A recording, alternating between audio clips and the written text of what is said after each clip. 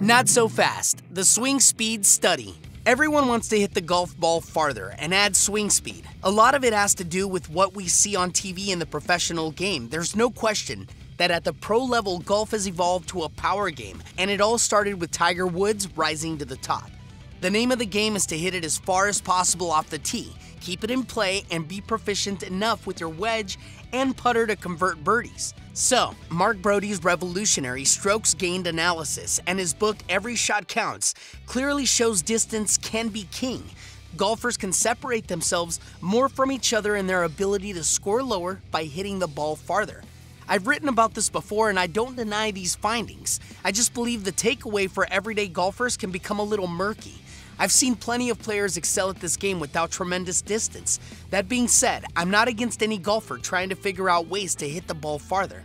If you want to hit the ball farther, I think you have a few options. One, increase your swing speed. Most people advocate this method. Two, hit the ball closer to the sweet spot. I like this one personally. Three, make sure you're playing with the correct equipment. I also believe in this. I believe number two and number three are reasonable ways to add distance to anyone's game, and I've written articles about that before. However, in my opinion, adding speed to your swing is not the slam dunk that most people think. I don't think it's completely necessary either. What is reasonable? Tour pros swing speed their drivers anywhere from 110 to 125 miles per hour. These are the speeds required to launch the ball 300 yards and farther. Anytime they can add a few miles per hour to their swing, it could mean the difference of making cuts and cashing bigger paychecks. Their livelihoods are literally at stake. This website is intended for everyday golfers, and my goal is to help filter out all the noise out there and get you thinking realistically about your game. You're not playing golf to cash a paycheck. Hopefully, you are playing first and foremost to have fun and enjoy yourself and have a secondary desire to lower your handicap over time. In order to add speed to your game and hit the ball much farther, you will likely need to start some kind of serious fitness regimen and put in a lot more practice. I'm certainly not against you doing that, but it will just require more of your time. As recreational golfers that have jobs and other obligations in our lives, that time is usually not there for us. But what if I told you that you don't necessarily need to increase your swing speed to lower your scores? A little bit of swing speed data for you. I was interested to find out the relative swing speed of golfers based on their handicap level, so I had my friends over at SwingByte run an analysis.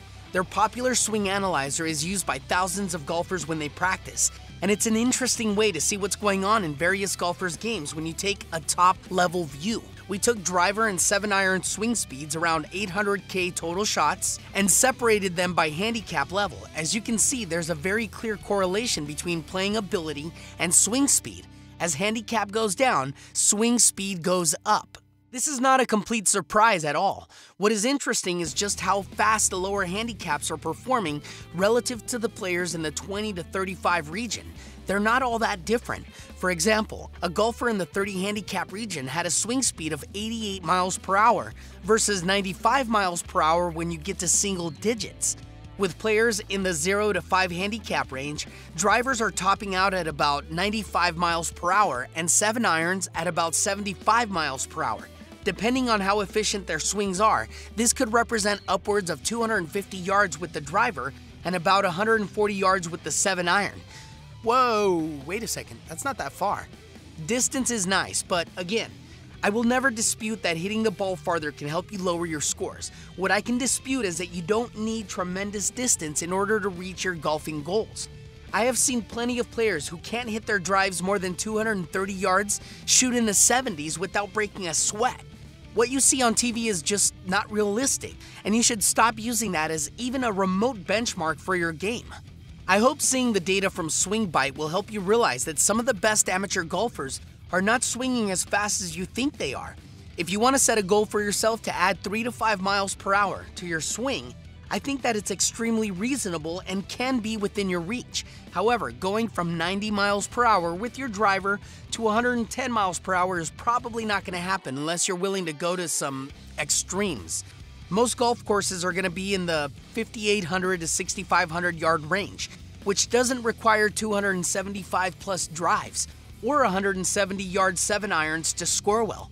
If you're playing on a 7,300 yard professional setup, then yes, I would tell you to start thinking about working on swinging the club much harder.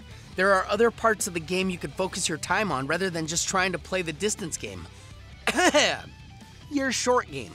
Pounding a golf ball incredibly far is just not in the cards for most golfers, and that's okay. You can still score extremely well without doing it.